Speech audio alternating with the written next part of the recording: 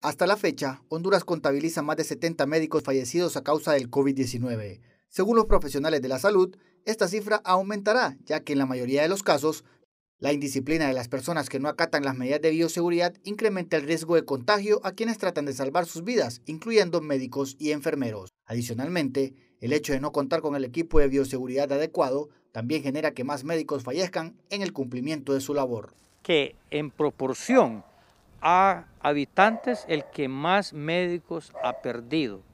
Y es precisamente por los actos de corrupción. No vinieron los equipos de bioseguridad a tiempo. Los que nosotros recibíamos al inicio eran donaciones. En el ámbito centroamericano, según el Colegio Médico, también en El Salvador, más de 70 galenos han perdido la vida, aunque el gobierno contabiliza oficialmente 45. Y en Guatemala, al menos 39 miembros del personal de los servicios de salud han perdido la vida. Con pocos insumos en cada institución, en cada hospital, estamos arriesgando la vida, pero para eso somos trabajadores de la salud, para hacerle frente. Enfermeros y médicos reclaman a una sola voz protección ante una situación cada vez más grave.